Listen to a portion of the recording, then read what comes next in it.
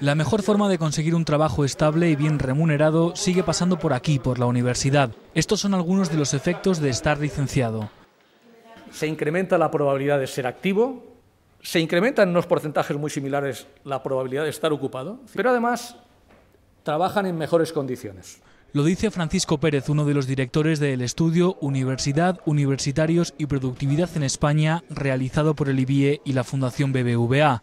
El trabajo desmonta, por ejemplo, la creencia de que en España sobran universitarios y sobre todo universidades. Las universidades no tienen tanto un problema de tamaño ni son demasiadas, sino que este problema del tamaño y del exceso se plantea en las titulaciones, en el número de titulaciones y el tamaño de las titulaciones y es que casi el 30% de los títulos de grado actuales tienen menos de 40 alumnos en el primer curso, mientras otros, como medicina, ofrecen muchas menos plazas de las demandadas. Esta rigidez de la oferta es una de las principales ineficiencias que destaca el estudio.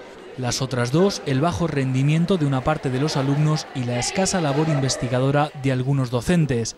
Menos de la mitad de los profesores universitarios investiga, aunque todos cobran por ello. El estudio propone al final un decálogo de 12 propuestas para resolver estos problemas siempre con una idea en mente. Las universidades y el tejido empresarial, la conexión entre estas dos piezas eh, es clave para el cambio de modelo productivo que España necesita. Un cambio de modelo que pasa también, según el estudio, por tener empresas más grandes, que son las que absorben a la mayoría de los trabajadores cualificados.